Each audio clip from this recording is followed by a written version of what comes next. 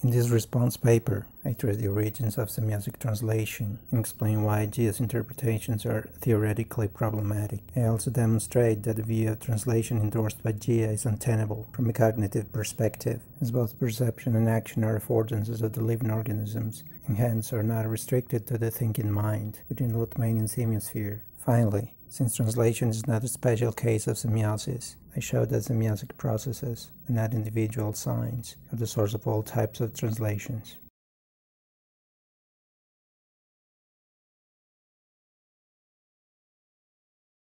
In his article, Jia prefaces his theory with some inaccurate claims about semiosic translation. For example, he affirms that the term semiosic translation is grounded on the term semiotics, derived from semiosis by Peirce, while this would look as a genuine counterargument to semiosic translation, a framework introduced in Torres Martinez 2015, the truth is that the origins of my coinage have nothing to do with either Peirce's or Morris's works, authors that, I must admit, I have never read.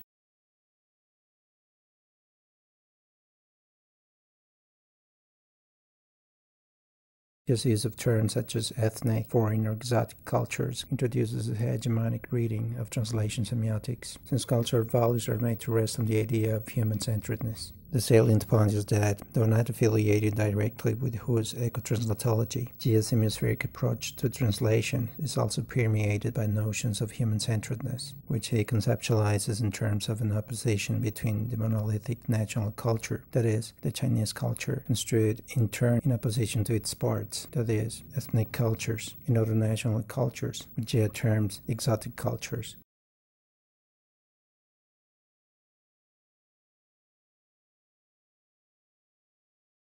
In this response paper, have shown that Jia's interpretation of both Lotman's and Jakobson's ideas needs to be revised. In this sense, Jia's semiospheric translation must expand Lotman's original idea of semiosphere and Jakobson's triadic taxonomy.